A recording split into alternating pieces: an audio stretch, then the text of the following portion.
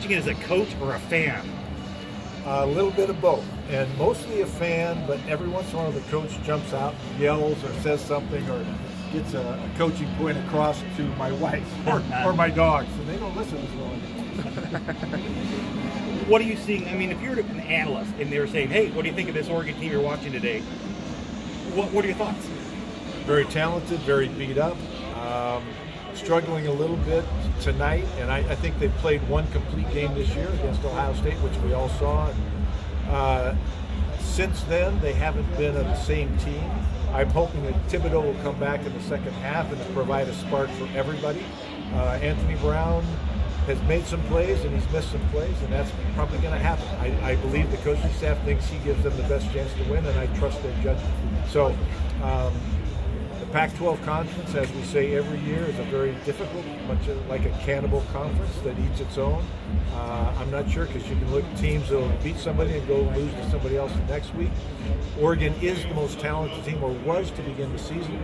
They have some injury issues right now that are making it more difficult. Uh, they've got to work on run fits. I've talked to them about that the front seven. They have some youth there. They have some inexperience. They have some injuries. Uh, the secondary has bailed them out many times this year. Uh, offensively, Verdell going down is not a good thing. Uh, I'm waiting for some of those young receivers, the taller guys, to step up and make some plays. They made some catches tonight. Uh, they need to make more. They need to help Anthony Brown be more efficient as a quarterback. And the offensive line is not doing as good a job tonight as I think they should. What do you miss about coaching and what do you not miss? I miss Friday, Saturday, and Sunday morning. Friday night, talking to the team. Saturday, the game experience, environment, and Sunday morning, reading about our wins in the paper. I don't miss Monday through Thursday. When, when you think about your career as a head coach here, what are the moments that instantly pop in your mind? There's not one. It, it's more probably people than, uh, you know, it's former players that are now coaching. I went over and talked to Bill Musgrave and Justin Wilcox and Peter Sirmon and Jed Boyce and Steve Greatwood, who are all dressed in Cal gear tonight. And then, you know, uh, seeing uh, Nate Costa coaching now and watching what Chip and some of the people are doing at UCLA and uh, there, I talked to Chris Petersen the other night, who coached for me, and then just finished coaching for Cal. Uh, excuse me, Washington. Uh, you know, it's the relationship. It's watching people grow, players, coaches, and being able to stay friends with them. I talked to Jeff Tedford the other day. He called me. I called him back. We talked for an hour. Chris Petersen, we talked for an hour. You just you start going and you remember some old things. You talk about what's going on in college football now. I'm scared for college football. I'm scared to death because of the portal the NIL. I just don't understand how it's going to work out for everybody. And I'm afraid for the game that I loved and I coached and I spent my entire life doing. Uh, I think we need some central oversight from somebody, whether it's the federal government or the NC2A, because leagues, uh, states basically cover it. And I'm not the biggest expert, but I just I know enough to be dangerous, and it scares the dog out do you have a relationship with Coach Cristobal, and, and kind of what has that been to you?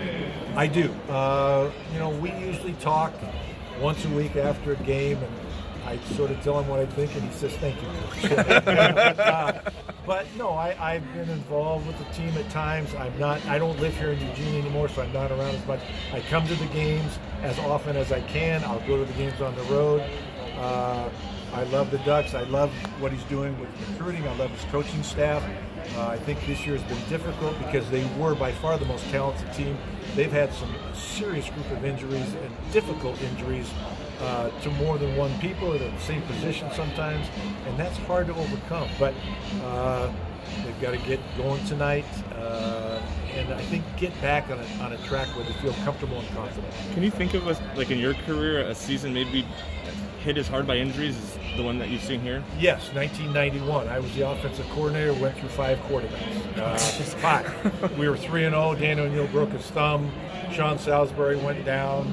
Cal Croston went down. Doug Musgrave went down. I think Bob Brothers had to start the last game of the season. He had been a wide receiver the entire. So injuries are something you can't control. It's very difficult. They affect not just you at the time, but everybody else. But you know, the next man up theory is a very positive thing, and Mario's done a great job of recruiting one of the most talented groups, not just in this conference, but in the nation.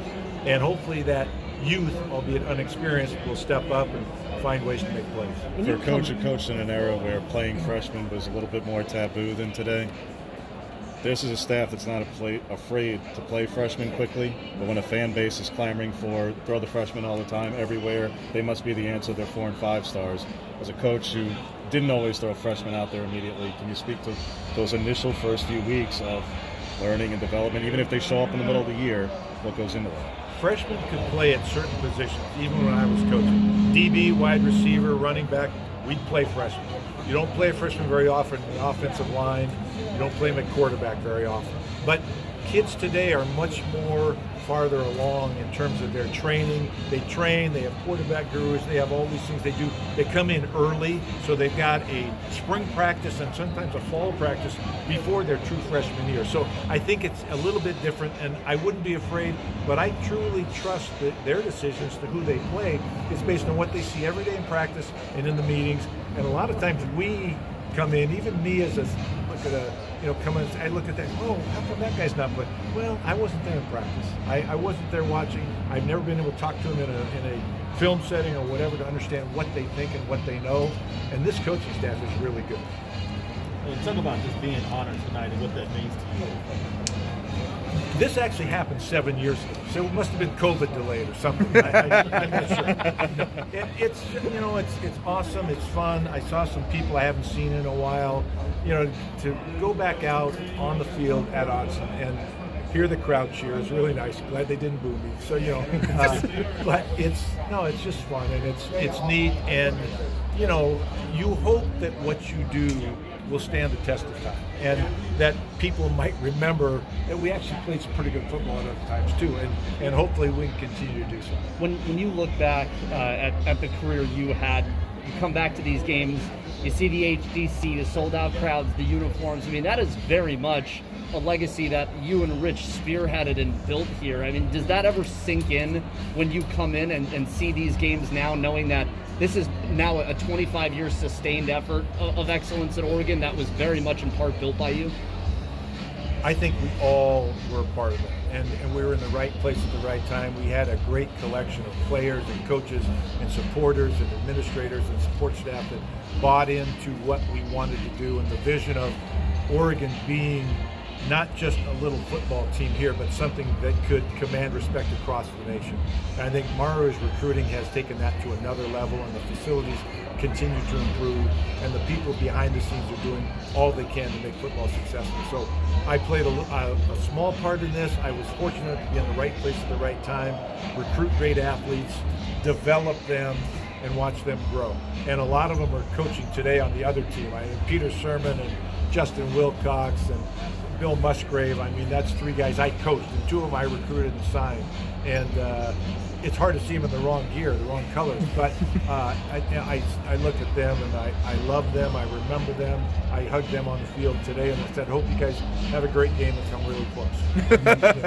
but uh, no, it's it's awesome. I, I'm very appreciative. Uh, when you get an honor like this or you're involved, it just reminds you of all the people that had to be in the right place at the right time to make it happen. And not, as a head coach, you're very fortunate. You have the right kind of staff, the right kind of players.